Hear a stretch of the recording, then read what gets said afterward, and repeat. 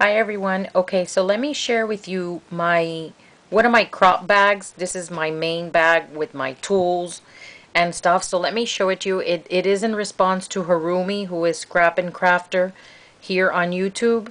And um, she was doing a challenge. I unfortunately wasn't able to do the challenge, but I am going to go ahead and put out my bag the way it, um, what I put in it for um, when I go to crops. So let me show you. This is an Anna Griffin bag and it, it does have a zipper and it has a handle here as you can see. And it did come in black and white, this color, and I could swear it came in a green color, but I'm not, I, am not positive. So, let, but let me show you, this is the one that I did, um, it was gifted to me for my birthday um, a couple of years ago. So let me show you what I have in it, and this holds so much.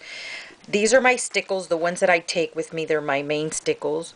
And then I, I go ahead and I have one of these um, Crackle Glossy Accents, which I just use this sometimes as glue. And I have a bunch of these color box inks. So I have this one and then I have these here.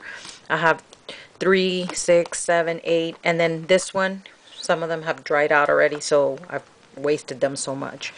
Um, I've used them so much.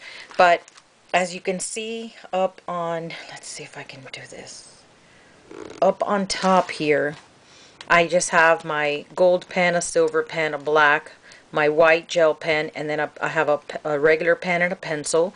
And then I have tools here, my X-Acto knife, some tweezers, um, this like rub-on um, tool.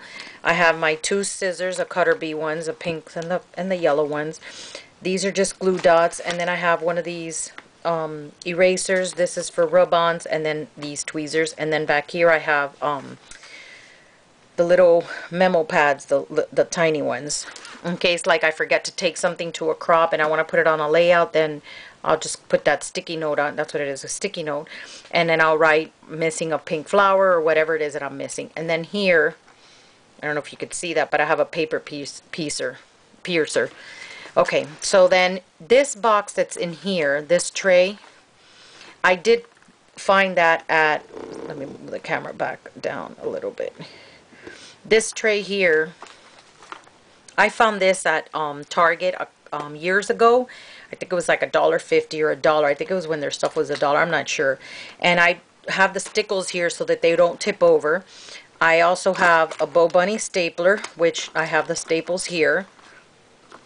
I have my Tim Holtz scissors. Can't live with the, without those. One of these um, heart things. It's just, uh, oh gosh, what do you use this? Um, like a nail file type of thing. Like to edge the um, edges.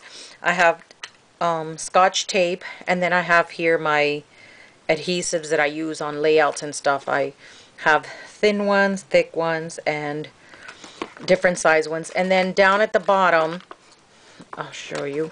I have, in case I'm going to be doing some brads or whatever it is and I need the paper piercer, I have this little mat. So I have that. And then, like I said, this is my main toolbox bag for my um, stuff, my stickles and everything, and nothing moves around, and it closes really nice um, with the zipper, as you can see. Now, I do have it did come with one of these that you can put it here to separate. Like if you want to put it like that sideways to separate. But I just have it here so this box won't move from where it's at. And basically that's about it. So um, thanks for watching. And Harumy, I hope that you um, can watch my video. I will go ahead and send you a message so that you can. And um, I'll talk to you guys later. Hope you guys are having a great weekend. Happy crafting. Bye.